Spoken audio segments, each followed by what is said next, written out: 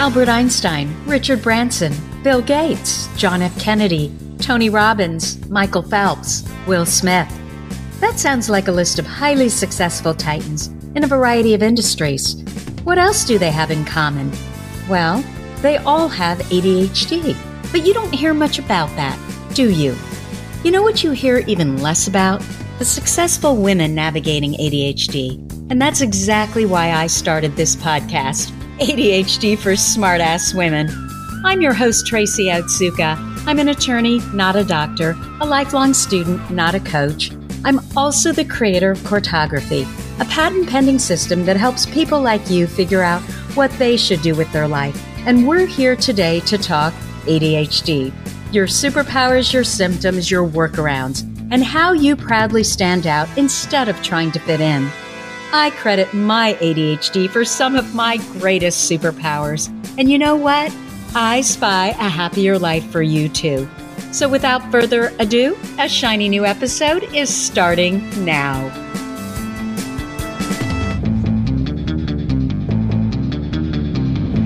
Hello, I am Tracy Otsuka.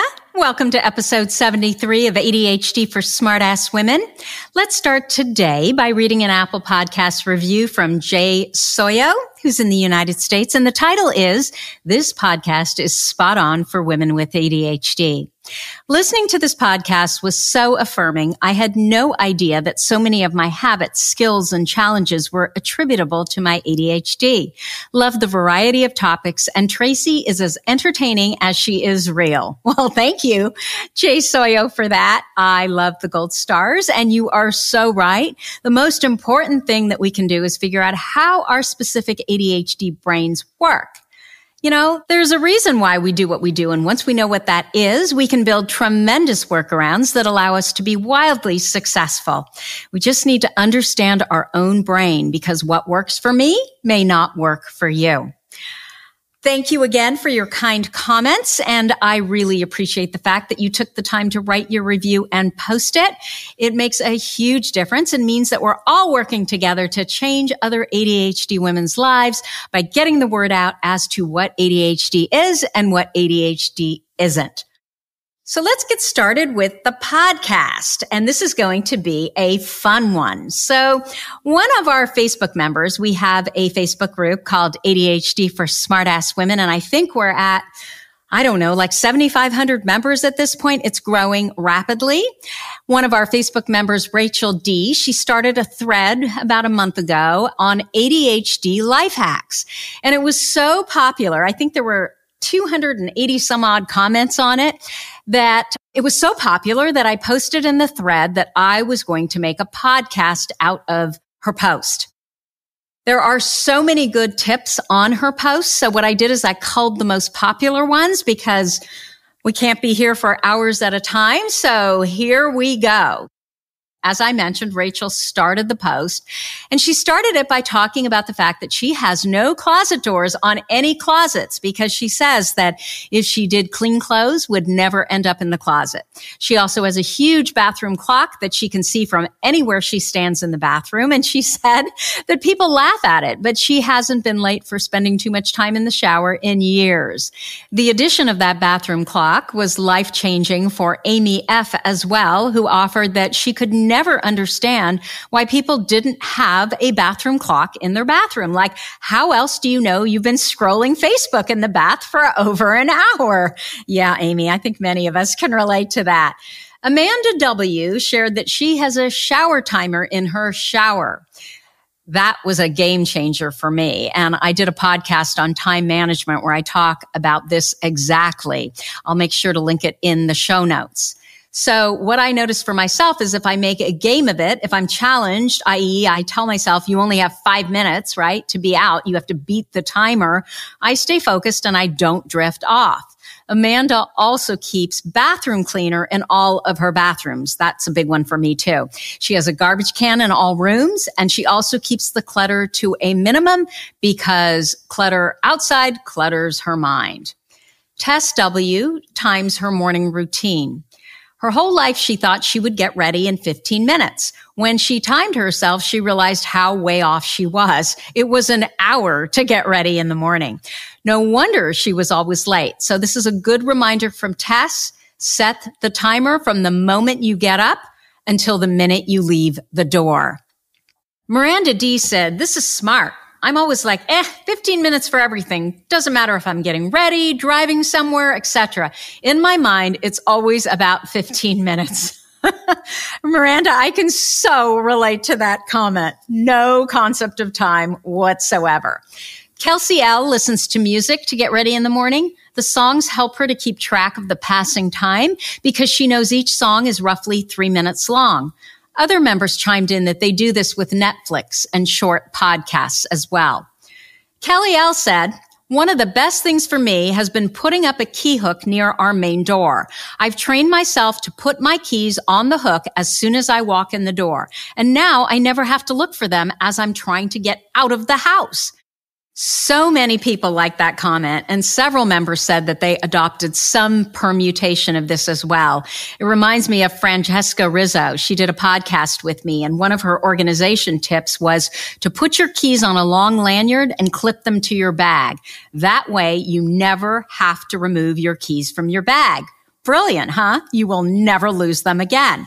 Kate C has a key bowl by her door, a pair of glasses for each television that she keeps with the remotes. She also has cosmetic pouches and pencil cases that she uses for her bags. When she switches her bags, she just grabs the pouches and pops them in the bag. She also has separate home and work laptop chargers. Oh my gosh. I always forget my laptop charger when I travel. Terry R goes one step further and she has a laptop charger in her bedroom, her living room, and her office. That way her computer is always charged. Jamie C travels a lot for work. She would always forget things. So eventually she bought all separate things. So all she has to pack for trips is just her outfits and underwear. Jammies, toiletries, jewelry, hair products, and makeup all stay in her bag. So those are the things that she's bought. They never leave her suitcase. And she says it's life changing. Chris K has her morning and bedtime to-do list written on the bathroom mirror. This helps her budget her time and tasks. There's a company, you know, called ThinkBoard that has clear dry erase sheets that you can affix to anything. And it comes with a dry erase expo marker.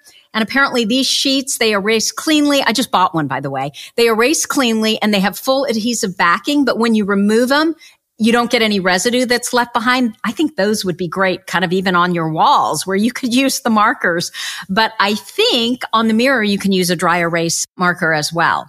I'm not sure. You'd better check that on a small space. But I love that idea because I have noticed with myself when I'm running late and I'm discombobulated, even simple things I sometimes forget. So I love the idea of that to-do list.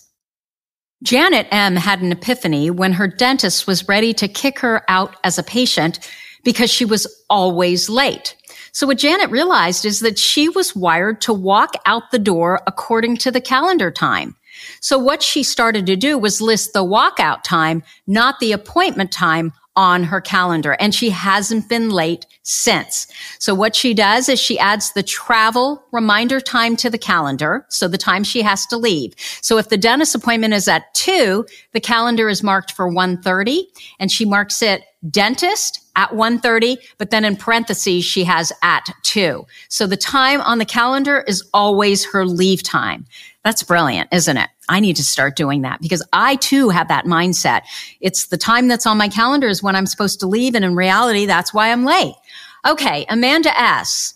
I use my Google Homes for a lot of things. You can ask for timers or what time it is. You can ask for the weather, like what amount of layers should I wear? And she can set reminders, etc. on Google Home. She also has a shopping list that she can verbally add to while walking around in the kitchen. She also said, I learned about the remember feature. Like you give Google Home a keyword. Remember the furnace filter was changed on April 9th. And then later you can ask, Hey Google, what did I tell you to remember about the furnace filter? And she tells you. You can ask her for the driving times and traffic reports, especially if you take the 30 seconds to add your home and work address into Google Maps. Then you just ask her, what is the traffic to work? And she will give you the exact time in minutes. I love that. CCB, she tapes her list to the door that she's going to walk out of so she doesn't forget them. How many times have you made a shopping list? Literally, it's on paper and then you leave it on the counter. Like that is my life. Chris M, as soon as she creates the login for any free trial app or software, she sets a reminder for a day before the trial ends. Samantha M has replaced her chair at her desk with an exercise ball. She now bounces while she's responding to emails. I like that idea. Allison S says, I'm constantly making lists of things I need to do, remember, etc. But they were often mixed together and I'd end up just creating similar lists over and over again without really checking them consistently, since it was often just the actual act of making the list that helped me clear my mind enough to initiate tasks. Yeah, I do that too. Then I finally sat one day and went through my lists on my phone to organize and consolidate them. And it's been so helpful. I split them into major categories and then smaller categories within each list. And then I break bigger items down even more into individual tasks of what I need to do to complete them. So for example, I have a list of things I need to buy, things I need to do, people I need to contact. My buy list has a section for the grocery store, for clothing items, for Costco, and for things I need to search for and buy online. Then my grocery list is broken down into food items versus supplies, so I know right where to list something in the moment I think of it. And also right where I need to reference it when I'm actually in that area of the store buying things. On my to-do list, I have a section for household chores, laundry, dishes, vacuuming. I have a section for life organization tasks, journaling, stretching, practicing my guitar, and then general short-term and longer-term tasks. I have to get gas. I have to pay rent. I have to look for a new apartment. I have to do my taxes.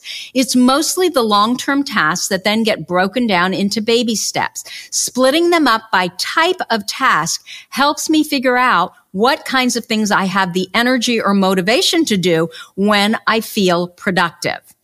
Basically, making lists like this, it helps me with memory and executive function issues by tapping me into hyperfocus more easily. It allows me to dive into a particular list and start crossing off the things easier or, you know, the low hanging fruit items. It helps me keep track of things, feel more productive and build up momentum when I actually have the time or energy to do things so I can maximize on those opportunities.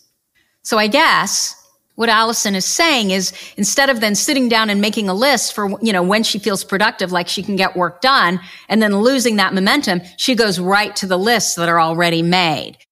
I love this idea. And I've thought so many times that I need to create lists for those things that I have to do regularly, like shopping. And I want that shopping list organized by where the item is in the store, right? We should have a Costco versus a Trader Joe's versus a Whole Foods list. You know, and we typically buy the same things every time anyway, right? So this makes perfect sense. Like one of the things that I'm thinking of right now is I'd love to make pasta, but the only place I can find that double zero Italian pasta flour is Whole Foods. Yet every time I go to Whole Foods, I forget. I forget to buy it. So I'm making special trips just for pasta flour, which is a huge waste of time.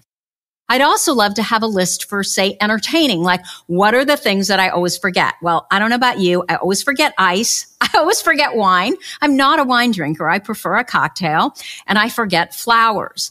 And then I'd love a list for like household chores when I'm entertaining. So I can tell the kids, go set the table or go clean the bathroom. And I can give them a to-do list of what cleaning the bathroom actually means because Honestly, if I don't spell it out for them, they never do it and they never do it the same way. They never do it the way that I want it done. I love this idea. I need a to-do list or a, a task list for cleaning the damn bathroom.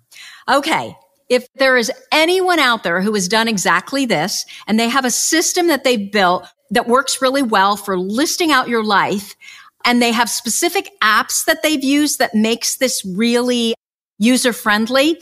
I would love to hear from you. You know, I keep looking at like checklist type apps to create this, but nothing seems particularly intuitive or helpful for me. So This would be a wonderful podcast topic. I'd love to knock this out for myself and then be able to talk listeners through how I did it so that they too can do it for themselves. It would be a great podcast. Okay. Kelly L and Allison S recommended OurGroceries. So there's our grocery list. It keeps all your grocery lists synchronized on all the smartphones in your home. It's free and it's for the iPad, the iPhone, Apple Watch, Android, Amazon, Alexa, etc. It's, oh God, I just said the A. Oh, I thought my Alexa was going to go off, but I think she's behaving. So it's a list app that allows multiple users to collaborate, which means this is what Kelly L is saying, which means my husband can add things to the grocery list too which is really helpful. The best part though is things move down to a separate section when you cross them off instead of disappearing. So before I head out of the store, I go through the list of crossed off items to see if there are any staples I've forgotten. Yes, I could put my double zero flour there. Kelly L says it saved me multiple trips so many times. Okay. Elizabeth B has created a not now list.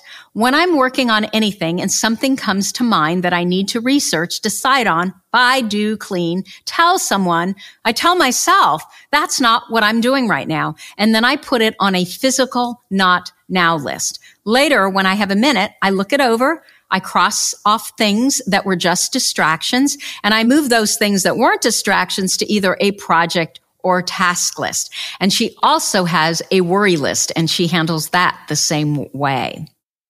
Jill D said, I don't close the laundry room door or shut off the light while I have laundry running. Yeah, I don't either. That's, that's a good point. So I remember to come back and move it to the dryer or put it away.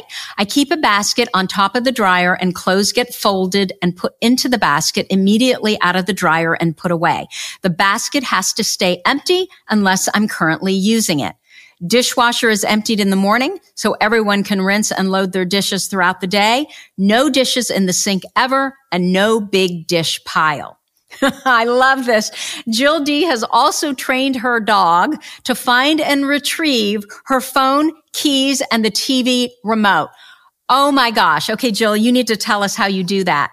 Jill's profile picture is a Dalmatian. So I'm wondering if that is the dog that she has trained. That is hilarious. You know, my Apple Watch is probably my best ADHD hack. And what I use it for most often is to put an alarm for the washer and the dryer I no longer wash laundry three and four times before it gets out of the laundry room. Okay. Kathy K mentioned having a tile in her wallet. They're wonderful. So she never forgets which purse it's in. Another member then mentioned that she has put them on her AirPods, which is what I need to put on my kids' AirPods. I am so tired of them losing them. There's something about AirPods where you can't use find my friend or whatever they call it when they're dead. Tiles, by the way, are Bluetooth enabled devices that you can put on everything to make it findable. They are great. Kelly W raves about the Apple Watch. Oh, here we go, especially the Find My Phone feature. I have a whole podcast on the Apple Watch. As I said, it's the best ADHD hack I own, and I live by the alarms. Tracy, um, oh, that's me. I wanted to mention the Ellie Grid. The Ellie Grid organizes your medication, your supplements, your vitamins. It reminds you to take your pills and tells you what pills you should be taking.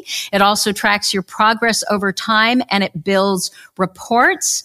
Now, I'm not sure if it tracks symptoms, but that would make it a perfect 10, wouldn't it? I've not used the Ellie grid because honestly, no medication or supplement works for me. But when I tried, I constantly forgot whether I had taken meds or not. So when I saw this, I thought it was just brilliant. So it's a pill organizer and reminder that's high tech. It's a little pricey. I think it would also be a great option for seniors who have a lot of medication to take. Ashley K recommended a bullet journal. And this is what she said. She calls it my super ADHD bullet journal. I've gutted the premise.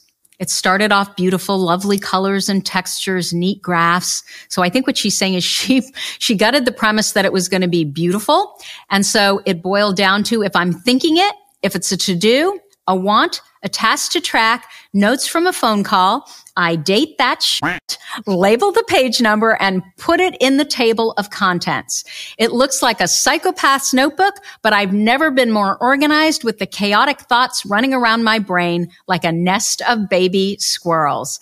Plus, I spent like 45 minutes picking out which notebook and every time I see it and realize I'm using it, I get this surge of pride. RIP all my other half filled in notebooks, a table of contents for your thoughts.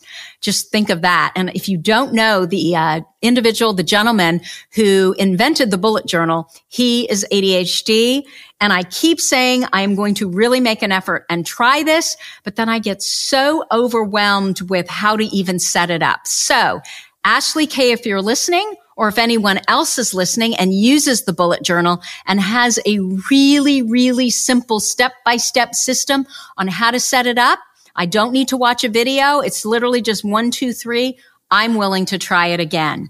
Stein L recommended the Minimalist Bullet Journals Facebook group. I just joined that as well. Denny P says, each morning I take five to 10 minutes to think about what I want to get done. Then I take a piece of paper and a pencil and I write down time blocks of 30 minutes each. Example, nine o'clock, 9.30, 10 o'clock. And I write what I'm going to do and when I'm going to do it. Then she also suggests the Pomodoro technique has been a game changer for her. Yes, it's been a game changer for me. When she can't start cleaning, she sets a timer for 10 minutes and she does as much as she can. I almost always shower with my wristwatch on and I set the timer for 10 minutes. Yep. It's like a shower clock.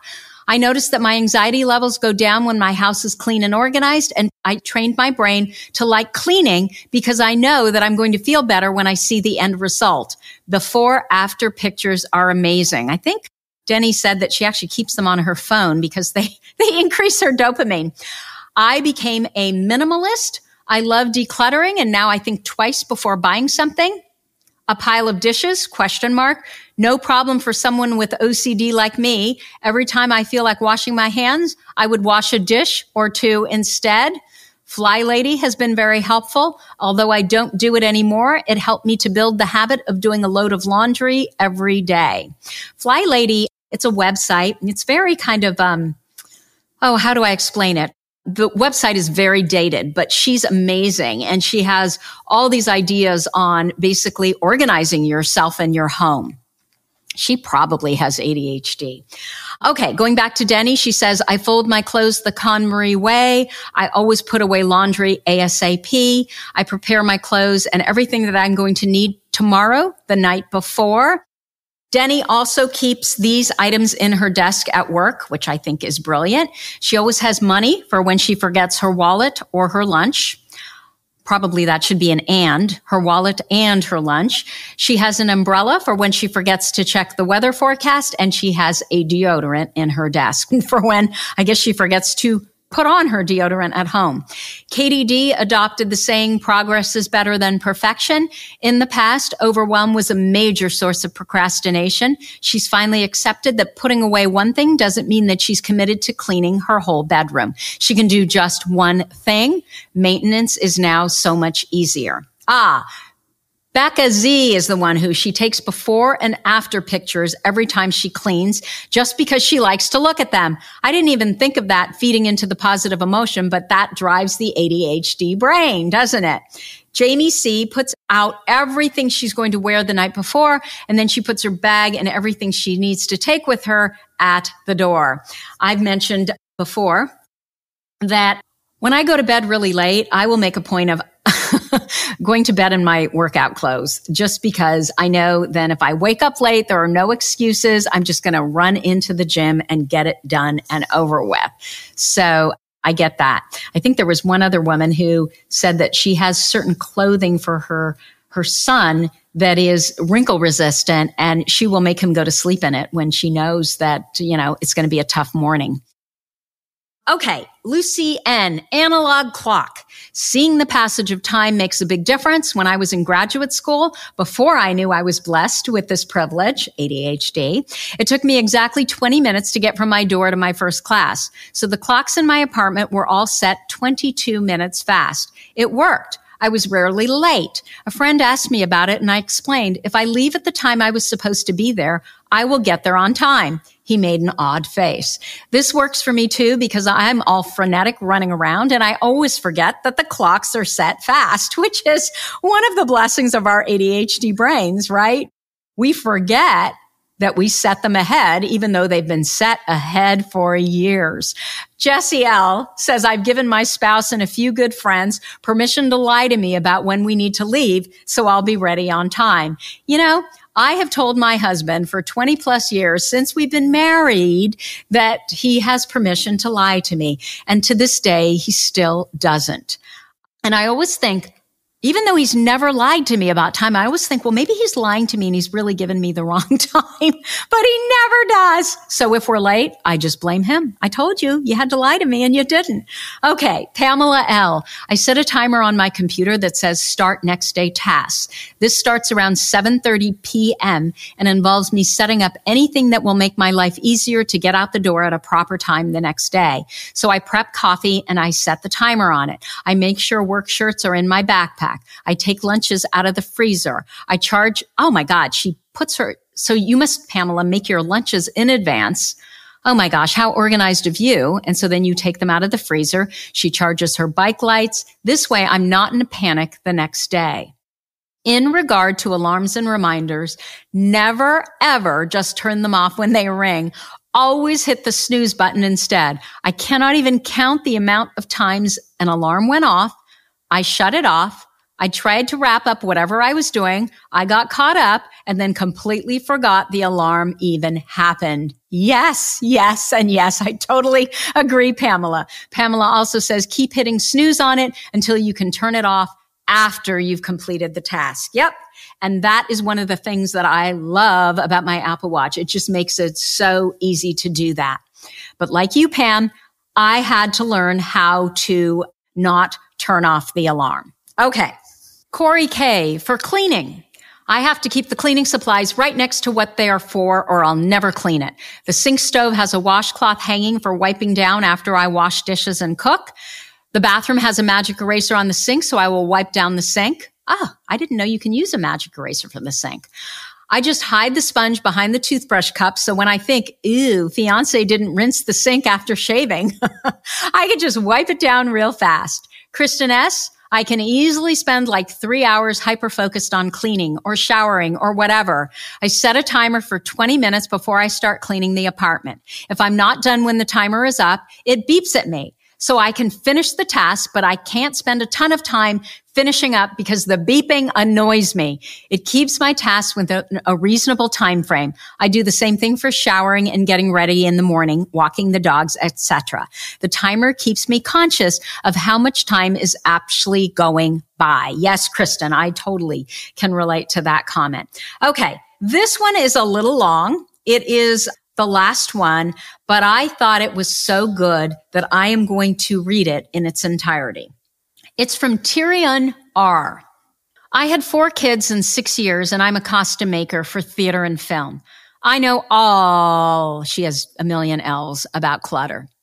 I wish this was something we were taught as a life skill at school, along with the psychology of what not doing it creates. Start with one room. Let's say your laundry or linen cupboard. Buy rectangular plastic baskets and store everything in that cupboard in designated baskets. KonMari fold bed sheets, KonMari fold towels, travel items, inflatable pillows, power adapters, etc. Pet supplies, extra toiletries. I always have extra shampoo, conditioner, tissue boxes, toothpaste, etc., and so on and so on. Then move to a new room. Every cupboard in every room uses baskets to store like items and label your baskets. When you're finished, you will open a door or a cabinet and know what is in every basket. Every basket can be accessed with one hand and not a single thing is piled on top of another thing ever again. If buying more of something won't fit in the designated basket, then you either really don't need it or you need to get rid of something in that basket already. And it's okay. When you first start, you might have too much of a like item to fit in a single basket. Let this be the first stage of sorting and culling. Just get everything in that cupboard into how many baskets will fit neatly in that cupboard. Then start by going through one basket at a time. Don't let yourself stop because you thought too far ahead and got overwhelmed about how long it's going to take to do every room or resistance thoughts like that. Just start. You can only own what will fit in the amount of baskets that will fit in that cupboard. Oh my God, I love this.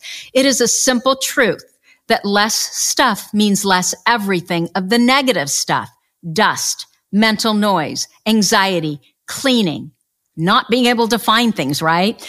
But applying this truth is so much harder in practice because we live in our feelings. Preach Tyrion.